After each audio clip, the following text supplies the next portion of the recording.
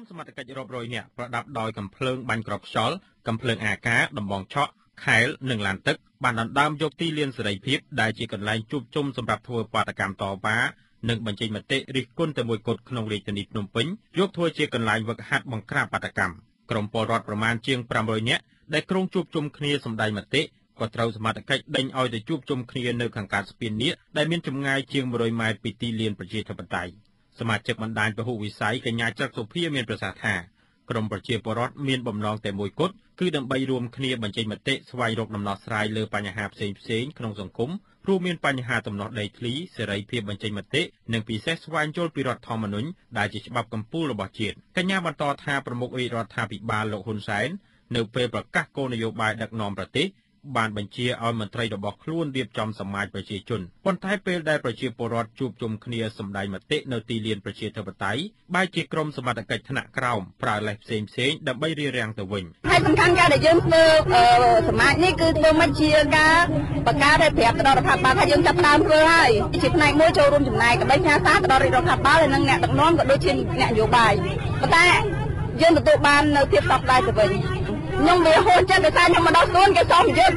គេមិនដែលមានសួនសួនវិជាធិបតេយ្យសមយុទ្ធដាក់ឡានទឹកទោះជាបែបណាក្តីក្រមប្រជាពលរដ្ឋមកពីសហគមន៍នានានៅតែរៀបចំសមាជប្រជាជនតាមការក្រុងទុកក្រមពលរដ្ឋចងឈ្នួតពណ៌ក្រហមនៅលើក្បាលដែលមានសរសេរអក្សរថាសមាជប្រជាជន អ្នកខ្លះលើកបដាដែលសរសេររៀបរាប់ពីគោលបំណងរបស់សមាជក្រមពលរដ្ឋបានឡើងថ្លែងម្ដងម្នាក់ម្ដងម្នាក់ស្ដីពីទុកកង្វល់របស់សហគមន៍នីមួយៗដូចជាការធ្លាក់ចុះនៃផលនេសាទ បណ្ដាលមកពីបទល្មើសនេសាទបញ្ហារំលោភបំពានដីធ្លី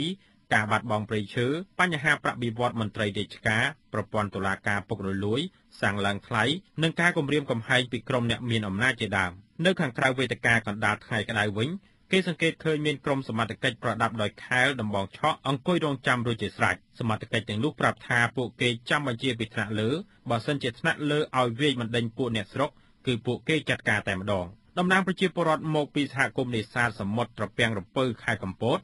លោកជាប៊ុនធឿនមានប្រសាសន៍ថាប្រជាសហគមន៍នេសាទកំពុងប្រឈមនឹងការដាច់បាយដោយសារតែផលនេសាទធ្លាក់ចុះលោកបន្តថាទូកនេសាទបរទេសដែលប្រើឧបករណ៍ខុសច្បាប់ បានចូលលុកលុយក្នុងដែននេសាទរបស់អ្នកស្រុកដោយមានមន្ត្រីជំនាញនៅពីខាងក្រោយខ្នងលោកបញ្ជាក់ថាលោកមកទីលានប្រជាធិបតេយ្យថ្ងៃនេះដើម្បីយកកង្វល់នេះទៅឲ្យរាជរដ្ឋាភិបាលដោះស្រាយផ្ទះនោះប្រាក់មេហើយ បាទប្រភពផលសមុទ្រវាច្រើនពេកទោះឥឡូវនេះ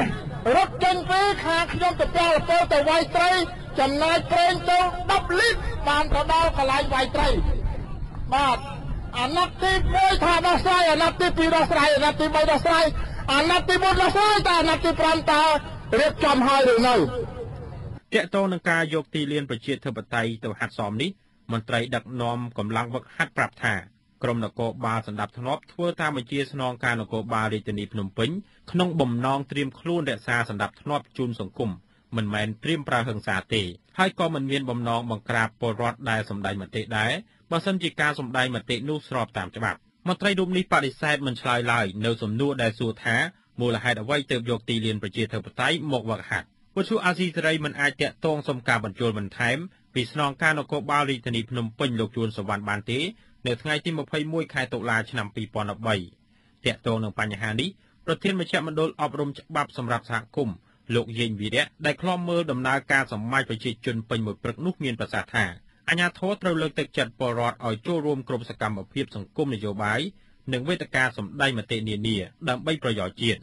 លោកបន្តថា តាមច្បាប់ពលរដ្ឋមានសិទ្ធិពេញលេញក្នុងការប្រមូលផ្ដុំជួបជុំសម្ដែងមតិនៅទីលានប្រជាធិបតេយ្យដែលមានអាជ្ញាធរជាអ្នកការពារសន្តិភាពធ្នាប់លោកបញ្ជាក់ថាវាជារឿងគួរឲ្យអស់សម្ដេចមួយ នៅពេលដែលសមត្ថកិច្ចយកទីលានប្រជាធិបតេយ្យយកជាទីតាំងវឹកវើនោះបដកម្មអីដល់សន្តិភាពអីនេះគឺត្រូវទទួលបានការឆ្លើយតបជាវិជ្ជមានទីហោថ្ងៃនេះជាដើមជាទីហោមួយទៀតហើយថាសិទ្ធិសេរីភាពក្នុងការបញ្ចេញមតិដែលធានាដោយរដ្ឋធម្មនុញ្ញហ្នឹងគឺអត់ត្រូវបានគោរពទេអង្គសម្បត្តិប្រជាជនត្រូវបានបញ្ចប់នៅវេលាម៉ោង11:15នាទីព្រឹកដោយក្រុមពលរដ្ឋសម្រាប់លុបចោលកម្មវិធីសំខាន់សំខាន់មួយចំនួន ដូចជាកម្មវិធីអញ្ជើញអ្នកជំនាញឡើងពន្យល់ពីខ្លឹមសាររដ្ឋធម្មនុញ្ញនិងវេទិកាជួបជាមួយតំណាងរាស្ត្រជាប់ឆ្នោតនៃគណៈបកទាំងពីរពលរដ្ឋបានត្រឹមតែច្រៀងចម្រៀងចែកសិភៅស្ដីពីរដ្ឋធម្មនុញ្ញនិងបញ្យល់គ្នាទៅវិញទៅមកស្ដីពីទួលនីតិរបស់រដ្ឋាភិបាលទួលនីតិរដ្ឋសភាតុលាការទួលនីតិព្រះមហាក្សត្រទួលនីតិក្រមប្រឹក្សាធម្មនុញ្ញព្រមទាំងជំរុញឲ្យស្ត្រីចូលរួមនឹងសកម្មភាពនយោបាយទាក់ទងនឹងទីតាំងវឹកវើរបស់កងកម្លាំងប្រដាប់អាវុធវិញ នៅកម្ពុជាមានសាលាវឹកវើកងកម្លាំងទាំងសាលាខ្នាតមធ្យមនិងខ្នាតតូចគ្រប់ភូមិភាគនៅទូទាំងប្រទេសប៉ុន្តែអាជ្ញាធរមិនជ្រើសរើសជាទីតាំងវឹកហាត់ទេម្យ៉ាងទៀតដីធ្លីជាកម្មសិទ្ធិរបស់រដ្ឋដូចជាដីពហុកីឡាដ្ឋានជាតិអូឡ িম্প ិកដីស្តាតចាស់និងដីតាមក្រសួងមន្ទីរមួយចំនួនទៀតដែលត្រូវប៉ាន់ក៏ត្រូវអាជ្ញាធរពុះជ្រៀកលក់ឲ្យក្រុមហ៊ុនឯកជនដោយគ្មានដំណាភាពនិងគួរឲ្យសង្ស័យក្រមសង្គមស៊ីវិលរិះគន់ថា ការវឹកហាត់របស់សមត្ថកិច្ចនៅទីលានប្រជាធិបតេយ្យជាការគំរាមយ៉ាងខ្លាំងចំពោះការសម្ដែងមតិតើរាជរដ្ឋាភិបាលមិនមានកន្លែងវឹកហាត់កងកម្លាំងឬចង់វឹកហាត់កងកម្លាំងនៅទីលានប្រជាធិបតេយ្យដើម្បីស្វាគមន៍ខួប4ឆ្នាំនៃការអនុម័តរបស់រដ្ឋសភាក្នុងការបង្កើតច្បាប់ស្តីពីបាតកម្មខ្ញុំវ៉ាន់វិចា ក្រុមសមត្ថកិច្ចរាប់រយនាក់ប្រដាប់